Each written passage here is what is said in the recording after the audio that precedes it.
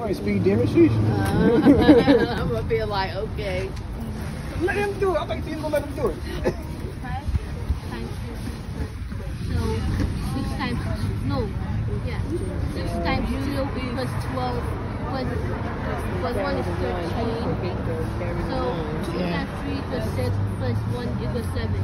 And oh. zero, five times five equals 20. No, 25. What I never understood. Did you carry the two again? Yeah. So five times six plus thirty plus two plus thirty-two. So two and three.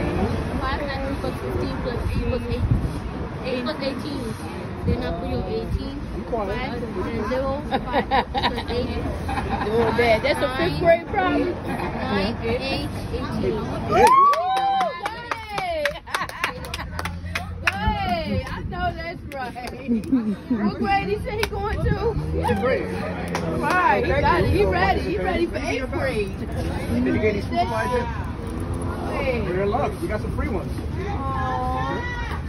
So everything you need for school, binder, folder, notebook, paper, competition book, calculator, pencils, paper, everything there. Some headphones in there too. And what? Take it I back. Yeah, it's yours. Give me a second to put it in there though. Yeah, it's yours. It's all yours. You mind taking a picture with me before you go? Yeah.